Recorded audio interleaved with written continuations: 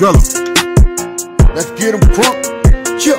Let's get 'em crunk. Like Chill, and chill, subscribe. lick. Drill Let's Music TV. crunk. Chill, chill. Okay, guys, allegedly 22Gz has been charged with attempted murder. Uh, um, that's a story that's hitting the internet right now. Um, I think he had beat a case a while back, uh, or whatever, in 2017, and um, now they're saying that he's being charged with attempted murder right now, or whatever. Um, I'm gonna find out more on his news, and um, just bring y'all the news right now that 22Gz has been picked up and charged with attempted murder. Um, he's a New York drill rapper. He's been collabing with a lot of um, people like Rooga, Lil Moe, and all them guys.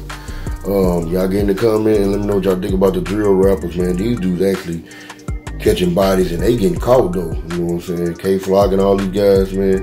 Y'all get in the comment let me know what y'all think about this situation.